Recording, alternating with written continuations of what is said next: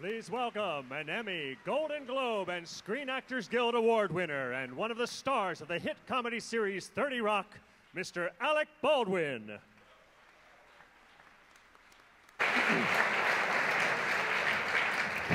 Thank you, um, and congratulations to Bibi. Where are you, Bibi? She, there you are. Congratulations to Bibi. Um, I remember a few years ago, I sent a letter to Paul Newman and to Joanne Woodward, and I said, uh, "Would you be the honorees at an event for an organization I work with?" And I got a letter back from Newman that said, "Thank you, but my wife and I would like to respectfully decline. We don't like to make a habit of uh, doing that kind of thing." He said, "For fear of catching the dreaded honorea." And something tells me that tonight's remaining honoree is of the same school. He would rather act and let the acting speak for itself and not uh, um, get into a lot of uh, um, awards and presentations and so forth. I'm sure he's writhing in agony right now.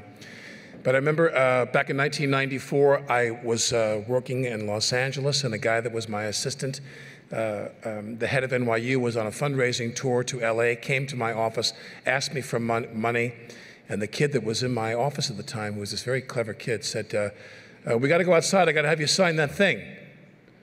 I said, What thing? He said, We got to sign that thing. And we go outside, and he says, Get the degree. I go, What? He goes, They're asking you for money. Tell them you want the degree.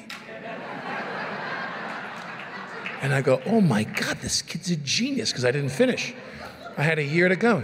I walked back. Oppenheim was the dean of NYU. Then I go, well, I would like you to maybe help me to facilitate me getting my degree. I don't want an honorary degree, but I'd like to get my degree. And he was like, well, all right, Mr. Baldwin, we'll see what we can do about that. And the next thing you know, I'm in an office with a guy, and we devised this thing where I'm going to pick an actor, because I had gone to Strasberg through NYU. We're going to pick an actor, and we're going to discuss the applicability of method acting to the technique of, a, of an actor who does both stage and film the applicability of method acting, of Stanislavski and Strasberg's techniques to an, a career in stage and film. And there was only one person that you could do this with. There was only one. So I approached this person and I said, Would you let me? I watched all his films and I read all these books that Stanislavski wrote and all these books that Strasberg wrote. We had agreed that I wouldn't publish the paper, so I can't share it with you. And I wrote this as a thesis for school. I had 225 questions. And, and again, this is a person who he would rather just do the acting. He doesn't really want to talk about acting, you know. But if there were five things he said to me that were really, I mean, there were many anecdotes, but if there were five things he said to me, I mean, they changed my life. This is back in 1994. They were so powerful, his observations about what he does and why he does it. And he, and he doesn't like to discuss that. Like I remember, just as an aside, I said to him, "Now, in your filmography, you do the movie Cruisin' with Billy Friedkin, very controversial film." And I said, "And you're in a bar, and people are having all this kind of crazy gay sex with each other, and it's this really dark film, and people are getting stabbed and getting murdered." I said, "A couple months later, you do the movie Author, Author." I said, "What's that like for you to leap that chasm from like Billy Friedkin and?" Violent homosexual sex. And then in the main title song of Author, Author, the song says, the lyrics say, and in the end, it's all just cookies and milk and a smile. I go, how do you go from one to the other? I said, you're doing a sex scene with Richard Cox where he's going down on you in Riverside Park. I said, what was that like for you? He literally says to me, he goes, all I remember was it was cold. He said, we were, he said, we were in Riverside Park, and all I remember is it was so damn cold out there. I go, yeah, yeah, I get that. I said, well, what was it like for you to do a sex scene with another guy? It was so damn cold, Alec. I gotta tell you. We were there, Riverside Park. It was so cold. I just want to say, for me, uh, this is a man who John Randolph puts the shield on this guy's chest in Serpico and gives him his gold shield, and the tears just go rolling down my face every time. This is a guy who is truly one of the reasons I do this for a living. And this is a guy who, unlike other people in this business, who are great actors, who achieve great success, but then retreat into some kind of Howard Hughes like freaky, weird cocoon they live in. this is a guy that was on Broadway this past season. This is a guy who is still putting it out there on the highest level. He's going to the park. He's doing Shakespeare.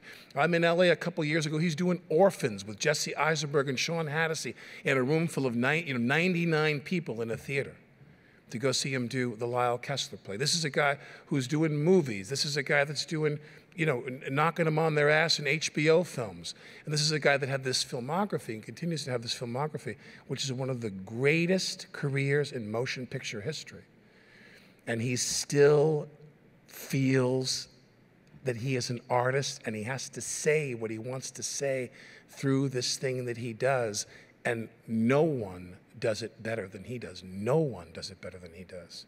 So uh, please join me in welcoming someone who I believe is truly one of the greatest actors in the history of this country in film and television and theater. Please welcome Al Pacino.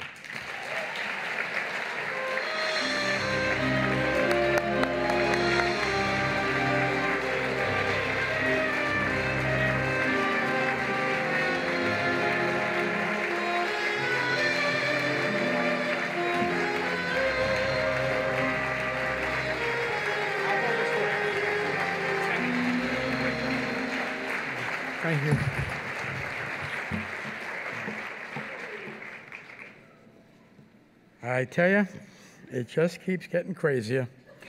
Uh, I am shocked. I, what I'm really shocked at is uh, that all these people, these people who talked up here, just sort of really know what I'm going through. You know, it just kind of was shocking, and they were in, in their own way helping me to come up here and not know what I'm talking about. So I will try to somehow explain to you. I didn't, I know this sounds as crazy as, as anything can be, but I, I'm overwhelmed by this. Overwhelmed, let me tell you. Uh, I would be overwhelmed no matter what, but, but to, to be overwhelmed when you don't expect to be overwhelmed, because I didn't expect this to be like this. I was going to, the last time I got, I got a, I know I wasn't dreaming. This wasn't dreaming.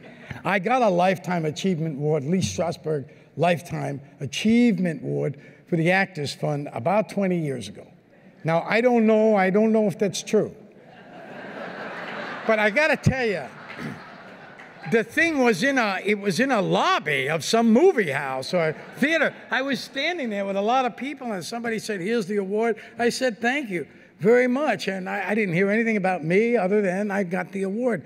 That's what I'm expecting. Can you believe this? I expected that tonight. But I'm very thrilled and overwhelmed and shocked and surprised because I didn't expect it to be a, a lifetime achievement and all these great people talking about me. I mean, all of them, you know, and there's Jeff Robinson coming out here and talking like that, and Annette and Alec and Johnny Boy. Johnny, I just saw him the other day because our kids go to the same school. They're not my grandkids either. They're my really. now, let me let me say something. I'm not going to be long. I mean, I can this was so beautiful to actually see the living examples of what the Actors Fund does. To see these kids up here ex- express their their and you, Bibi. I mean, you told me I got to get a new hip instead of the part. I thought, what an excuse that is! Wow. I never heard that one before. now you got two of them. You know, I mean, holy smokes. I mean, good stuff, Bibi. Good stuff. Congratulations to you. Lovely. And everything here tonight, so lovely, so amazing. I'm so scared and then not. You know, I'm in front of people. What the heck? I'm a, I'm a performer, right? What am I going to do? Uh, you know, because a lot of the times at the Actors Fund, it's so in, ensconced, it's so much there. You know, you don't, you take it for granted in a way. This is this wonderful thing that has been here for over a century, and, and you got to keep fanning it. And tonight we are doing that, I guess. That's what's so wonderful about tonight. Um, I want to say, I, yeah, you know, the, the, interesting thing about Lee Strasberg uh, and his, uh, the effect the Actors Fund had on Lee. Because when I got in the actor's studio, I was very young and uh, I didn't have anything. I didn't have money for my rent. I didn't have phone. They used to have shoes there for people. Uh, they had this fund that Lee Strasberg set up so that he was inspired by the Actors Fund, so that if you went in there, you could say, I, look, I don't have my rent. And the Actors Studio come out, open a little box. You know, rent, wait, I wasn't living in any high rises, you know, I was living in tenements, so it wasn't that much money. But they pull out 50 bucks for the rent. You don't believe me? No. So anyway, uh, that's what would happen. And of course, we found out after a while that that went sort of dry, that that fund went dry, because actors from the Actors Studio would give back when they made it. And they, they, it, it was the James Dean Memorial Fund, then it became the Norman Ornelas Memorial Fund. And uh, it's been revived, but it was, it was inspired by the Actors Fund. And uh, uh, just to say to Jeff, uh, who was talking about Scarface and talking about the lines, and he knows them, that it was Oliver Stone who wrote that script, by the way.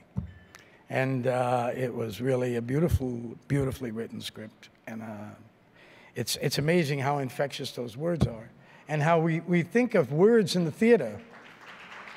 Thank you we think of words in the theater, but also there are words in films. You know, it's, it's, it's something when you see a good movie, you, you, you, you're interested in the dialogue between the, between the actors. And, uh, you know, because it is such a visual medium, it's such a motion picture, it's moving images, you know. But uh, uh, Oliver proved that you can have that and uh, have language sustain over 25 years. So I was very happy to hear that. I'm very happy to be here now that I'm up on the stage. I was terrified sitting there in that little thing looking around and then and then I just love the love in this room and I, and the love up here to me, you know. It's astounding, uh, and and uh, you know I'm I'm really grateful, and as I've said many times, uh, this this is is is is is more than uh, I, I ever bargained for. This whole world of theater and acting that, that has happened to me. It's the most, you know, pinch me and wake me up because it's that for me, doing what I love to do. And I I I don't know except that Johnny Depp, who I love so much, he was a little off in his timing. Do not tell him. He actually did it, he did it on the, not Johnny Carson, please. He was on the David Letterman show. And he said, Pacino has a joke, he tells me, that nobody gets. Did you get that joke? But the timing of it, a skeleton walks into a bar and says to the bartender,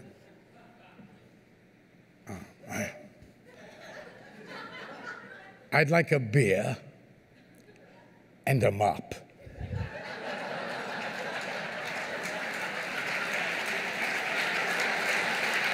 It's in the time. Thank you for this glorious, glorious gift. Thank you all. Beautiful.